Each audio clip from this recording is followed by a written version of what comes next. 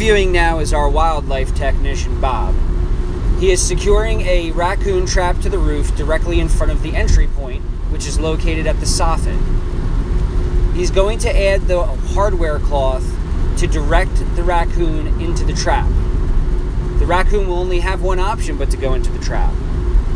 We will do daily site checks to make sure that we have something. And when we do, we will remove the trap, seal up the hole, and take those babies out of the walls.